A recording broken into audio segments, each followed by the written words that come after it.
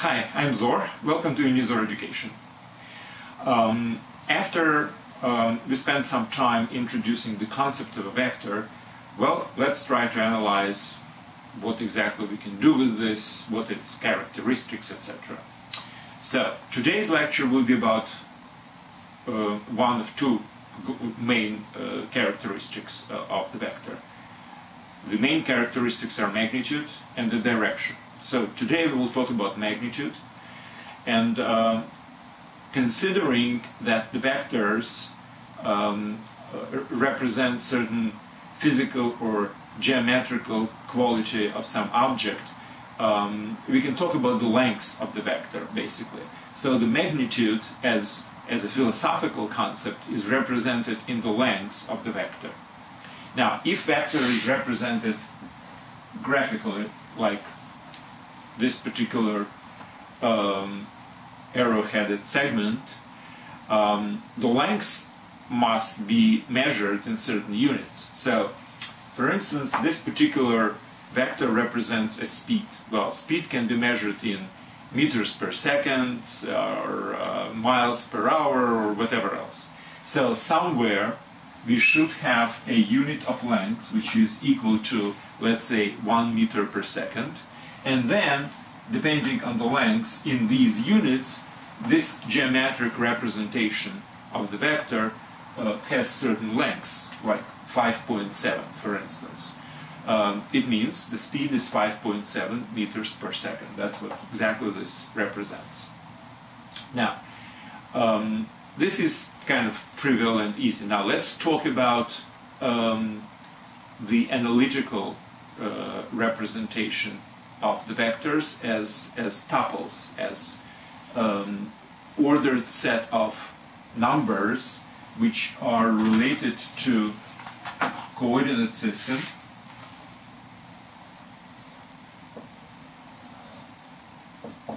let's say we are talking about two-dimensional vectors.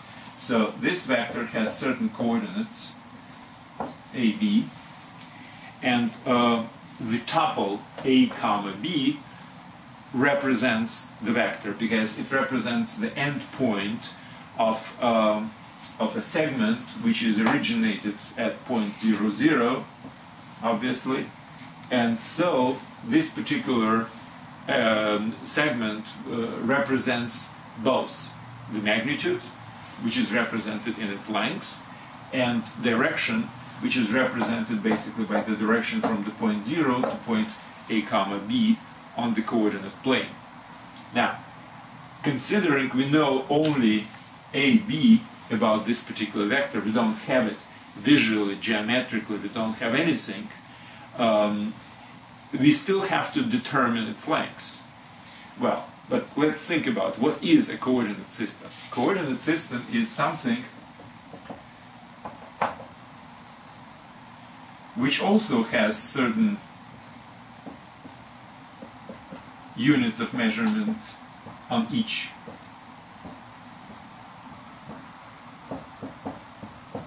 on each axis, right? So the unit of measurement is given because the coordinate system is given. And what are these numbers, A and B? Well, these are the lengths of the projections of our point, the end point of the vector, to the corresponding axis which make up the coordinate uh, uh, axis. So, this particular uh, segment, which is a projection onto the x-axis, is equal to 3 point something, and this particular projection on the point uh, on the uh, y-axis is 1 point something. So what we know is maybe we don't know the lengths of this particular segment, but we do know its two projections on two orthogonal um, axes. Now, obviously, we should use the theorem uh, Pythagorean theorem to, to find the lengths, right? So this piece is equal to A, this piece is equal to B. So the length is equal to square root of A square plus B square. Because this is the hypotenuse and these are two categories. So What I want, to, uh, what, what I want, what I want to what I want to do, what I want to um, actually say that this is the formula for the lengths. Well, this is a two-dimensional case. Well, let's just spread it around. What if it's one-dimensional vector? Well, one-dimensional vector is uh, a vector which is represented on one particular single one-dimensional line. And again, there are uh, units of measurements here. And vector is again from zero to some point. Let's say to this point or to this point, doesn't really matter. So in this, in this particular case, the coordinate itself, well, in this case it's 2.7. If um, uh, the vector is directed uh, towards the negative side, it will be minus something. So what would be the length? Well, the absolute value of this number, right? So in one-dimensional case, length is equal to absolute value of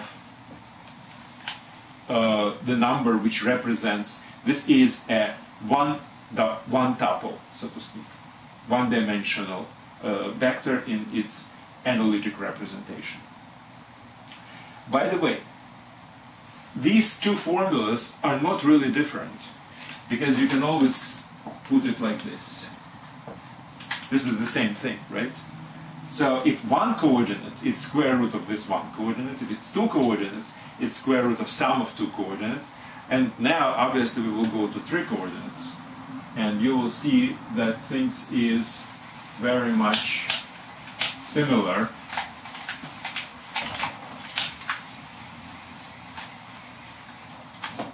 Okay, the vector in the three-dimensional space.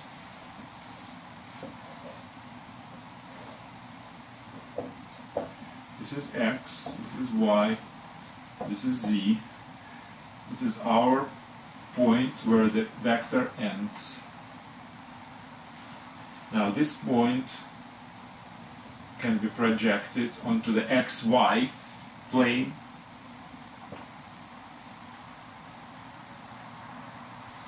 So if this is ABC,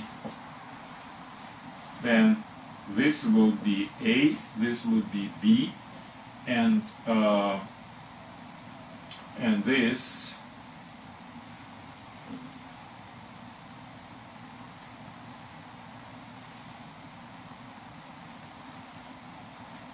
would be C. So imagine x0,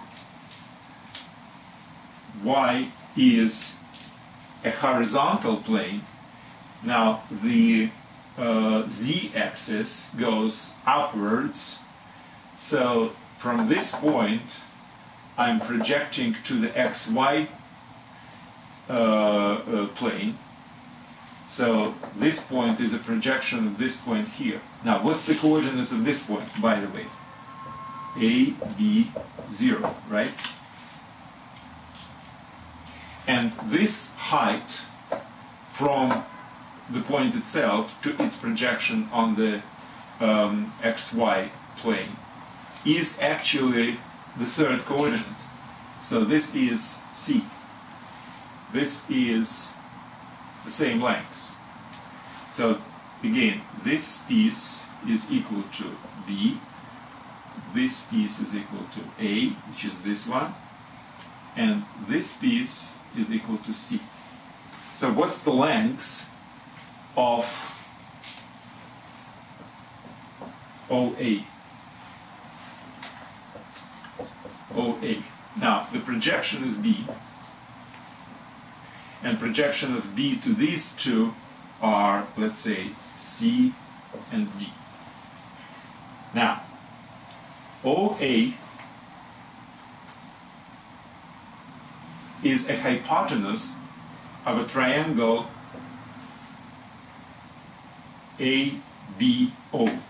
So A is above uh, the plane, B is its projection, so OB would be perpendicular to, so this is at the right angle. So OA square uh, is equal to AB square plus OB square. Now, OB square, now this is the hypotenuse, and this angle is the right angle, right? Because this is the projection onto this, uh, uh onto this axis. So, uh, AB square plus, instead of OB square, again, Pythagorean theorem, I will use OC square plus BC square plus this. So this angle is right angle. If you look at this from the top, right, it's a projection, which means we are uh, directing the perpendicular. And now, what is this? AB square is basically C square, the third coordinate. Now, OC, OC is our A square, and BC, same as OD, is B square. So again, we look at this and we see exactly the same thing, that the length of the vector is equal to square root of a square plus b square plus c square. So this is a typical um, situation with all the vectors regardless of the dimensionality with one vector, uh, with one tuple representing a one-dimensional vector, we had the square root of its one and only coordinate. In two cases, uh, in two-dimensional case, the two tuple AB.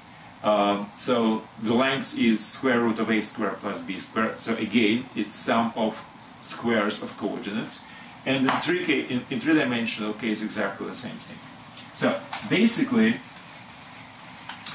using this, using this consideration, um, we can expand the definition of the length of the vector to any dimensionality. Now, I mentioned to you that vector can, for instance, represent the um, uh, oil refinery, for instance, where all the parameters which which are controlling the oil refineries are basically um, numerical components of this 100 dimensional tuple representing the, uh, the state of the, of, of, the refinery.